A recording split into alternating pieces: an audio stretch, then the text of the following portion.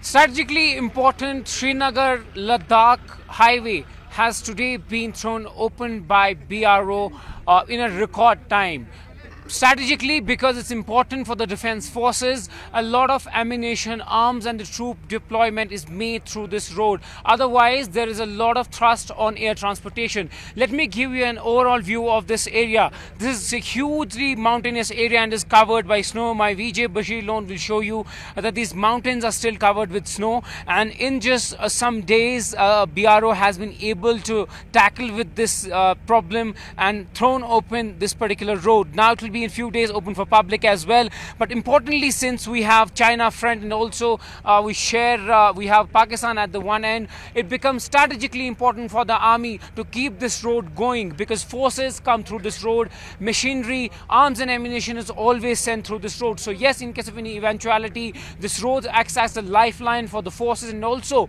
a lot of uh, you know equipment, a lot of uh, you know essentials also go for the troops from this particular place. Otherwise, air transportation is the only way and for the people as well who are uh, you know who got stuck through the road they are not able to commute out and this road will mean that uh, people are also able to travel and are connected to rest of India and now they will also get some essentials and fresh supplies. Record opening of Srinagar Leh highway has been achieved by BRO and to speak more about this I have with me DG BRO uh, Rajiv Chaudhary. Sir, how historic is this day particularly for the BRO who had uh, set this task importantly to open it for the public of Srinagar and also for Ladakh? Uh, this is uh, extremely historic moment uh, not only for BRO but for army and the people of Ladakh and Srinagar.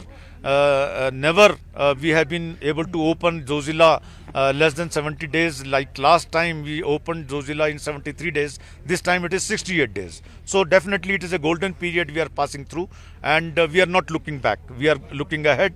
As I told earlier also that next year maybe we will try and attempt to open Zojila below 60 days. So ये तो हम इतिहास बनाते जा रहे हैं and we are looking ahead with lot of positivity and a lot of hope that uh, Zojila will be opened every year, uh, much less uh, in much less time than before. My last question is that uh, we have two neighbors uh, towards Ladakh. One is China and one is Pakistan. So how important is the road for the defense forces? Because uh, we have to float, fly through a lot of equipments when it comes to Ladakh. So it will save the money of the government as well. How do you see it from the perspective of security forces?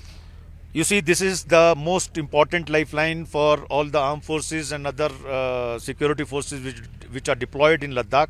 And uh, through this land route, uh, in any eventuality, we can uh, infuse more forces uh, if required. So we are uh, giving a lot of cutting edge to our armed forces by opening Zojila earlier.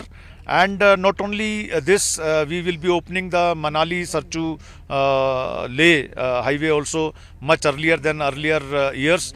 Uh, last year it was 110 days and uh, this time we will attempt to uh, reduce that period also so and you also know that sadhna pass uh, farkiyan gali and z gali also which are strategic passes for our 28 division uh, we are trying to keep it open since last two years throughout the year. So uh, BRO is not uh, looking back. BRO is making attempting very very hard uh, targets uh, to achieve and uh, for the security forces and for the population of uh, both uh, Valley as well as Ladakh. Thank you so much. So that you heard the DG saying that it's an important strategic location. He mentioned that a lot of equipment and the forces have to go to Ladakh and in case of any eventuality, this road will act as a lifeline and definitely we'll see in coming days convoys coming through this important road.